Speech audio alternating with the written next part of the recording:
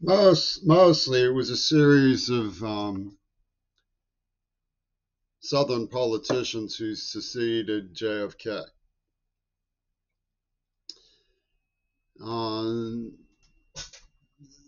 in public memory of association, free association, you're supposed to exclude the Southern Baptist queer wardens of Arkansas.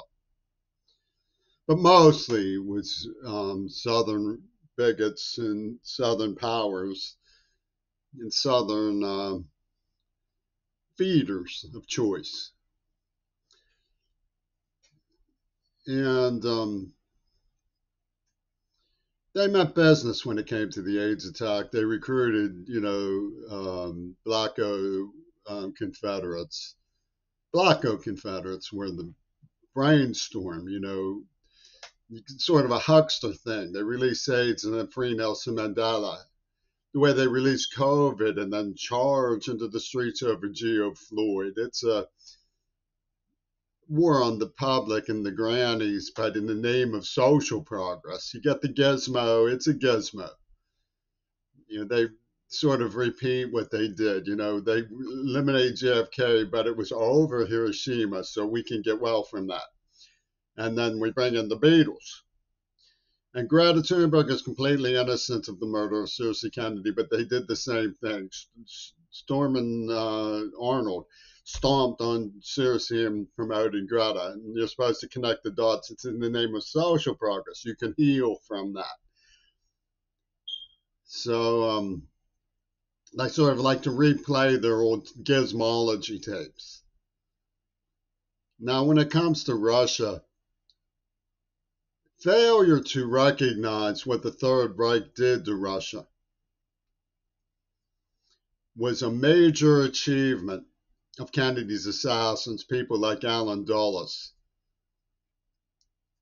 Failure to recognize Russian sacrifice for the entire civilized world at Stalingrad was a major achievement of the Dulles brothers and the Cold War warriors who reasserted their power and Houdini'd Hitler. Now, when I got home from Mount Desert Island, there was an invasion of privacy crisis because the poachers wanted to justify testing, so they superimposed, they overdubbed, they impinged on the persona's experience. The idea of a, uh, uh, soliloquy about date rape. Does she or does she not want me to make her? And I ruled that she doesn't, then left her alone.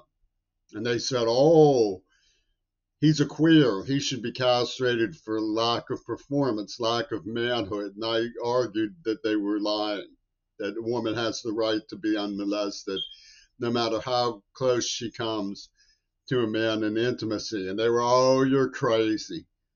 We'll castrate you for that. They, they announced the virginity proves rape. This is supposed to be black comedy about the um, queerization of American warriors, warriors, the queerization of American warriors by pale, white, liberal public schools, and so on. Well, they had escalation dominance. They blared me literally with, I heard a voice, zzz, ultra high up in the sky, came from Sony. Midori Goto was going to pussy whip the neuroplasm. So we know what they're capable of. And it's soul rape, right? Even Lewis Lapham called it the rape of a human mind. So they obviously knew what they were doing. And this escalation superpower that Peter Gabriel came up with is, uh, in their minds, a justified trap. They say D'Annunzio believed in afterlife after death and Pan believed in the afterlife after death. Therefore, those Germans on the Parthenon steps are our troops. Because they're the walrus, right? Because they both believe the same thing. There's a difference between believing in killing innocent people, the way Weisler went after the Jews, and defending innocent people. That's the difference between D'Annunzio and Patton, okay?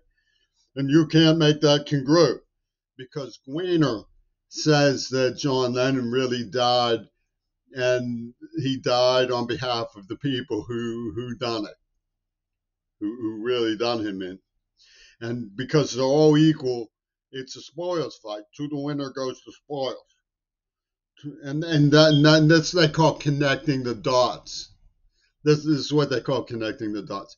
And she beams down from Star Trek with this major storyline of falsehood within falsehoods within falsehoods. It's not an enigma wrapped in a par- paradox wrapped in hypocrisy alone.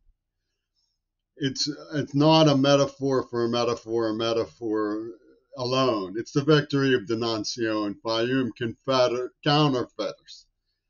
The Confederate counterfeiters came up with a with a with a, a whole heap of deception. They, they call double fantasy. Had nothing to do with me. It beamed down from Star Trek on me and engulfed me. And she she wants to eradicate all the memories of Ray. I mean, the meant out uh, to kill the memories of Ray. Authenticity disturbs them to no end. They wake up chewing the carpet. Authenticity. We'll have none of this.